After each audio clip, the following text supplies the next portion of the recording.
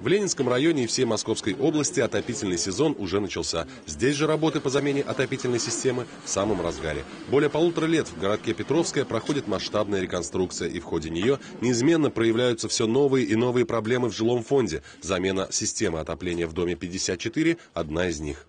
Данный вид работы не был включен изначально в программу капитального ремонта как таковой. А усилиями администрации э, в 2016 году были поданы дополнительные сведения на корректировку программы, которая претерпела изменения э, в начале этого года.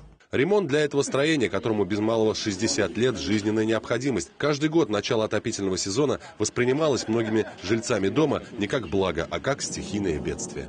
Батареи у нас рвало на первых этажах, вот, да, да, да. каждый год по два, по три раза, и батареи, и трубу под полом рвало. Да, сейчас тяжело, но потом я надеюсь, что мы уже перестанем мучиться с этими трубами и с этими ремонтами бесконечными. Татьяна Васильевна Морозова живет на третьем этаже. Она сделала ремонт в квартире, в том числе труб и радиаторов отопления. А потому таких проблем, как у жителей нижних этажей, у нее нет. Тем не менее, к ремонту Татьяна Васильевна относится с пониманием. Не устраивают только сроки. Ждем долго, сидим дома, грязь, какие неудобства. И холод. А сколько по времени это уже продолжается?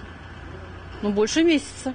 В отличие от Татьяны Васильевны, поначалу не все жители дома проявили сознательность. Работы по ремонту системы отопления начались еще летом, но помешали их проведению сами граждане. Компромисс был найден, а время упущено.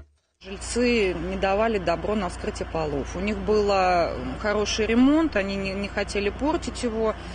Но вот договорились в присутствии администрации. Будут скрыты полы, будет нарушена целостность покрытия, будь то ламинат или линолеум, это будет восстановлено за счет подрядчика. Вскрытие полов, где проложены трубы, только часть проблемы замены системы отопления. Она создана по стандартам 60-летней давности, и привести ее в соответствие с сегодняшними требованиями оказалась задачей не из легких. Но самое сложное уже позади.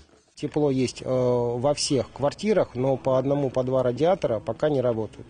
Завершение работ э, планируется 27 числа к вечеру. Таким образом, уже завтра работы по установке отопительной системы будут закончены. Еще некоторое время потребуется, чтобы навести порядок в квартирах, и после этого жители навсегда забудут о проблемах с обогревом жилья. Максим Козлов, Владимир Бежонов, Елена Кошелева. Видное ТВ.